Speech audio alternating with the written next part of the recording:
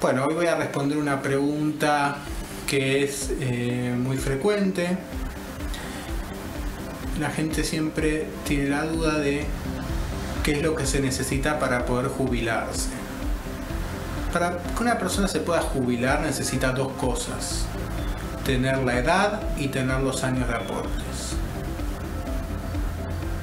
También aquí hay que diferenciar el tema de la edad y los años de aportes si uno responde a un régimen general, o sea, al común de la gente, o si uno se dedica a una tarea diferencial, por ejemplo, docentes, régimen de la construcción, eh, portuarios, hay toda una serie de regímenes especiales que tienen otro sistema.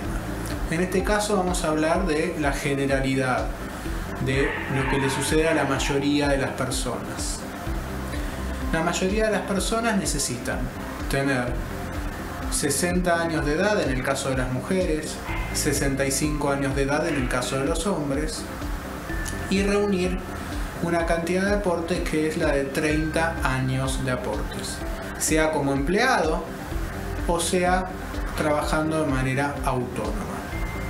También debemos decir que si a la persona le faltan años de aportes, se puede utilizar alguna moratoria que se encuentre vigente para completar y llegar así a tener los 30 años de aportes.